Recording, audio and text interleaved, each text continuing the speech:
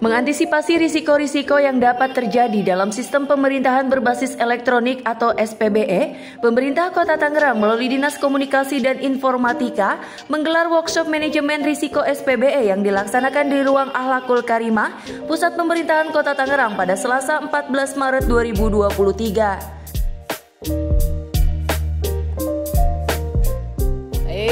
Hari ini Dinas Kominfo melakukan kegiatan untuk eh, manajemen pengelolaan SPBE. Jadi kegiatan ini adalah sangat penting sekali untuk memitigasi resiko-resiko terkait dengan SPBE yang ada di perangkat daerah. Jadi eh, seyogyanya hari ini memang diikuti oleh 27 perangkat daerah yang pada kegiatan hari ini dan narasumber juga kita datangkan juga dari tim yang memang memiliki kompetensi untuk uh, melakukan uh, penyusunan dokumen uh, manajemen risiko SPBE. Tentunya saya berharap bahwasannya perangkat daerah yang sudah hadir pada kesempatan hari ini dapat melakukan mitigasi risiko yang akan uh, dapat uh, yang kemungkinan akan terjadi di SPBE di lingkup perangkat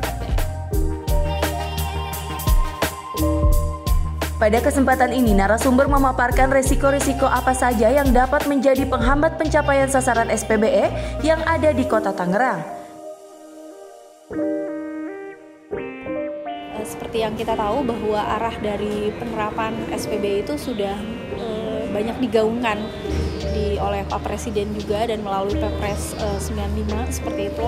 Lalu juga ada arahan terkait dengan manajemen risiko SPBI ini sesuai dengan Permentan 5 tahun 2020 yaitu terkait dengan pedoman manajemen risiko SPBE. Jadi ini adalah pengelolaan manajemen risiko yang sifatnya tematik. Sebetulnya di uh, Kota Tangerang sendiri itu sudah melakukan penerapan manajemen risiko secara umum di organisasi. Hanya yang kegiatan hari ini kita lebih spesifik membahas risiko-risiko apa saja sebetulnya yang bisa menghambat pencapaian sasaran SPBE yang ada di uh, Kota Tangerang seperti itu.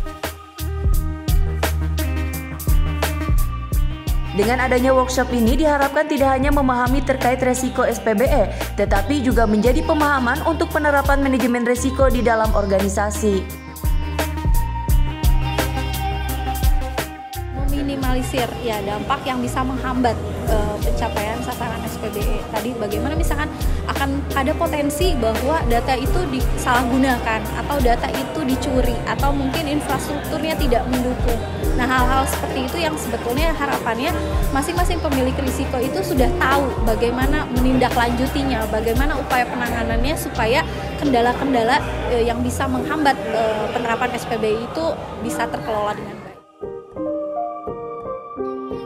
Awin Sinatria, Ferian Nur Seloardi, Tangerang TV.